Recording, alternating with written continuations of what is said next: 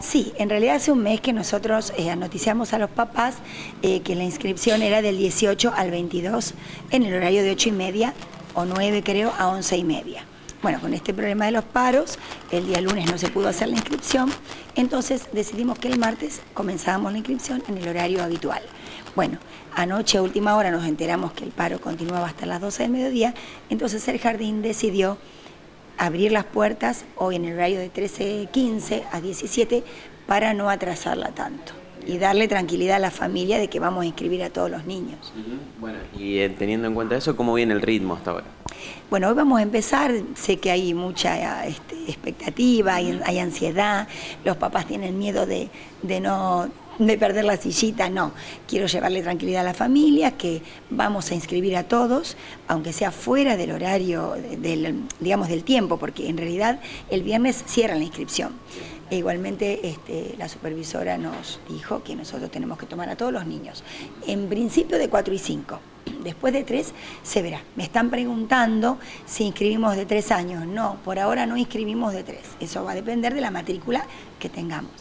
¿Eso se va a saber recién el viernes cuando tengan ya el cupo de, de las salas de 4 y 5? Claro, el viernes vamos a tener ya un porcentaje de alumnos inscritos, una matrícula un poco más concreta, entonces ahí sí vamos a notificar a la radio para este, comentar en caso de que haya inscripción de tres. ¿Cuáles son los requisitos que tienen que llevar los padres?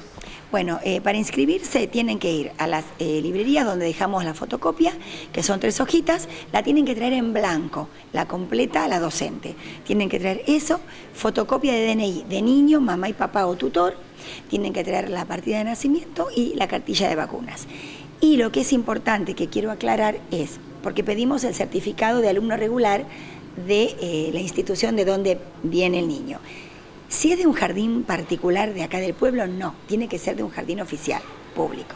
O sea, vamos a dar el ejemplo, eh, suponte de que un niño viene de otro pueblo que asistió a una escuela pública e hizo jardincito de cuatro y se inscribe para cinco. Ahí sí necesitamos el certificado.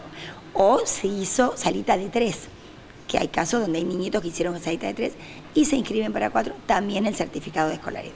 En ese caso solamente. Se abre hoy por la tarde, pero luego hasta el viernes va a retomar el horario habitual que ya tenían estipulado. Hoy abrimos por la tarde en el horario que mencioné recién de 13, 15 a 17 y de seguir todo en orden, de volver a la normalidad, volvemos nosotros también en el horario de 8 y media a 12 hasta el viernes. Nosotros ya tuvimos salita de 3 debido a que la matrícula de 4 era muy baja. Entonces hicimos salita de 3 y la experiencia fue hermosa. Ahora, Dios mediante, si abren el jardín nuevo, si tenemos el jardincito nuevo, ya eso dependerá de la supervisora si se abre la inscripción.